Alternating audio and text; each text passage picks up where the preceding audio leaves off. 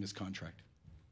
Cliff, you've always been known as the guy that brought that made the big Gilmour trade and Sundin trade. But can you talk a little bit about, and you mentioned this a little bit earlier, but uh, how the dynamics have changed about making a deal going into this trade deadline? It can, it's no longer just uh, a handful of players for a handful of players.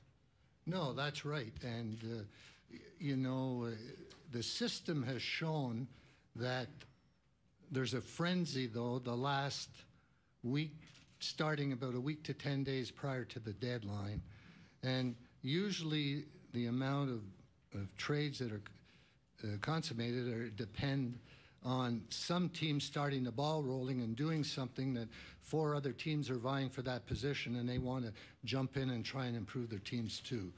So, uh, you know, just what might be able to be accomplished uh, this year at the trade deadline, honestly, you're looking into a crystal ball because whatever you do has to make sense. And uh, the goal is to improve the hockey club both for the present and the future. And you have to assess what opportunities you have and, and how appealing they may or may not be. So uh, we'll find out before the 26th of February. Richard, I don't want to uh, belabor the point about autonomy, but with trade deadlines and, and, things of that nature, some of these things can be very time sensitive. Is one of your managers able then to make a decision, to make a player move, to make a trade, and then report back to the board, or does it have to go to the board first? Uh, over the history of the company, uh, we've done a bit of both. If it's if it's a, a very large trade like Vince Carter, uh, that the board uh, wanted to hear the thinking on that one. Uh, a great deal of the others uh, you know, that if, if it was a time frame where there were board meetings, he might say, geez, I'm thinking about this. But the next thing they might hear about it is on their BlackBerry, frankly. Richard here in the second row. Uh, a lot of the dynamic for this club seems to be the attempt to stay competitive now and rebuild for the future, and that doesn't seem to have worked in this case, and it doesn't seem to have worked over a long term in the National Hockey League. Has this company accepted the fact that it may need to miss the playoffs for a year, two years, three years, and as part of a targeted rebuilding from the ground up, or is that still not an option for Maple Leaf Sports and uh, Entertainment? Uh, we will look to, uh, in the short term, the interim, to, for Cliff's direction on that. What's the best way to realize our ambitions? And then the next person, um, whatever our general managers think, um, we have the appetite to do that. Cliff. What are your views on no trade contracts? A number of your veteran players that you're inheriting now have long term uh, deals with no trade uh, addendums to them. Well, uh, Steve, it, it, seems to be an issue uh, across the board in the league today. I, I don't have the figures, but uh, there are a substantial number uh, of players particularly the better players on the respective teams that, that have that no trade clause in there um, uh, to protect their own interest. But I think you'll find that in most cases that all it is is basically giving the player a say on where he might be going. And in the end, generally, there can be accommodation. Cliff, you seem to be in a, a, very enviable position recently, living in a beautiful part of the country, collecting uh, some salary from the Phoenix Coyotes. It would have been a situation where you, you probably could have just gone off and enjoyed the rest of your life. What attracted you? What brought you back to this situation? Uh, Howie, uh, it's a challenge.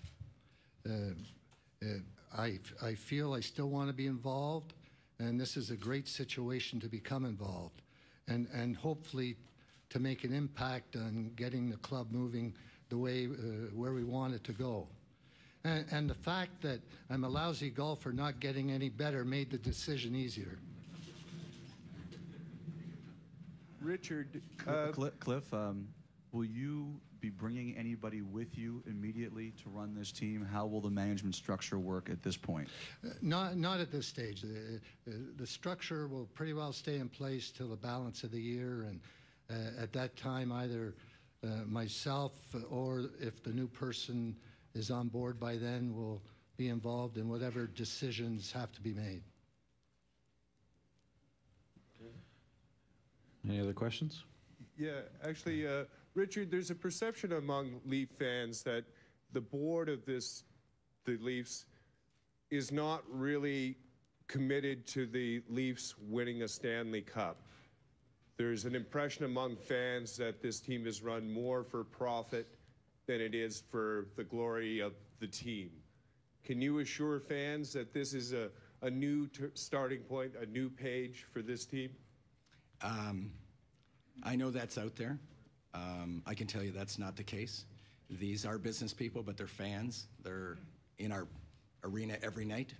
Uh, they think like fans on occasion and hurt like fans on occasion. So they want to win for that reason. But winning's good business. I mean, if you get through the into the Stanley Cup, whether you win or lose, but eh, let's just say you just get to the Stanley Cup, Finals, it's probably you know, can be 12 to 16 home games. Do the math on that, let alone when you go to renew your broadcast deals, your suite deals, your corporate partnerships. Winning is good business. This team wants to win. This organization wants to win because they're fans and it's good business. Cliff, when you were hired, right here, when you were hired in 1991, you were one of the most successful GMs in the business, one of the most experienced. You were succeeded by two men, Ken Dryden and John Ferguson, who had no experience at all in the job. What should the next general manager, president, what should he look like? What's the broad outline? What should be done in Toronto? I would hope uh, that there will be someone out there that will be an appealing candidate who uh, has had tremendous success in the NHL, has a track record, and you know that if that person would have any interest in coming here, that you know that he, the chances of him succeeding are very, very good. All right. Uh, at this point in time, we're going to break down into uh, one-on-ones.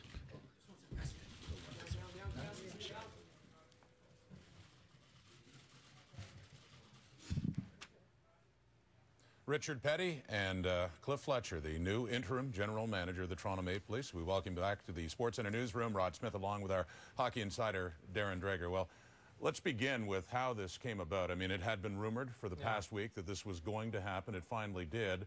Was it actually finalized last night or this morning?